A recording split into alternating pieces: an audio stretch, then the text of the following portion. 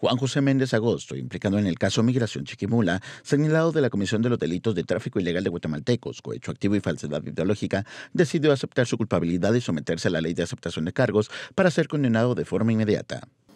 Lamento y de veras eh, me deja un poco triste porque hay algunas cosas que en la investigación a mí me favorecen, pero esas no las expuso en su oportunidad el fiscal Carlos de León ni tampoco en su oportunidad la auxiliar fiscal Astrid Paola Pimentel Carias. O sea, mire que hasta dónde he llegado, que se me quedan ciertos nombres porque he vivido esto paso por paso y al final he ido armando, como quien dice, para decir la verdad.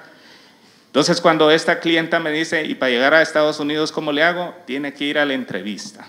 Tiene que tener boleta de banco, tiene que tener libreta de ahorros con 16 mil quetzales, que son 2 mil dólares, usted va a decir que va a ir a pasear, el cónsul, él va a decidir si le da o no le da la visa.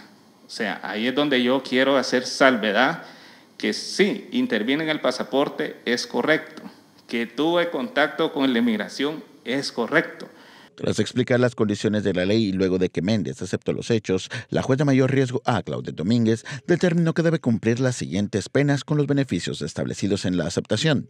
Tres años de prisión por el delito de tráfico ilegal de guatemaltecos, dos años y seis meses por el delito de cohecho activo y un año de prisión por el delito de falsedad ideológica. Derivado de que ella cuenta con 23 meses de prisión preventiva, dicho tiempo se le descontará de la pena.